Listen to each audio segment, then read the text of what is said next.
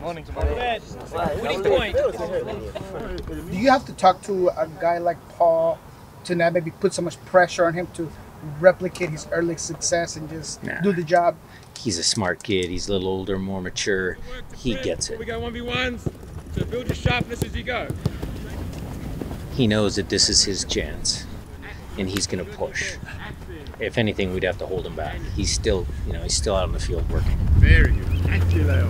Let's Leo. Nice, Jackson. Very good. I think his play for Defiance has been very good.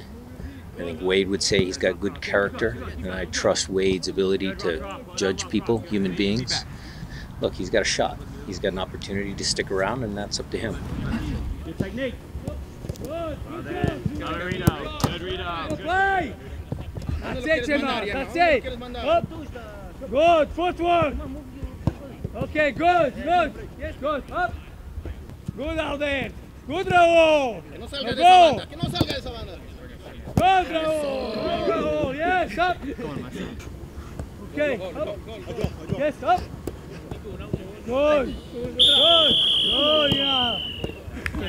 Obviously, this is a tough game coming up against Atlanta.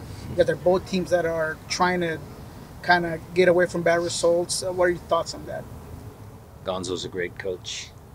I love seeing him.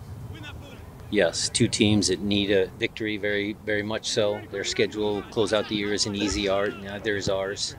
So he'll have his team ready. We'll have our team ready. We'll see.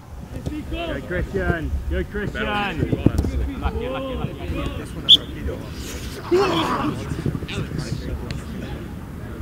On the chest.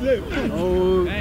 When you got like a guy like Thiago Almada coming in, do you put too much focus on just one particular player? They've got just- they've got more than just one player. They, you know, they've got a few. So it's a good team. It's a very good team.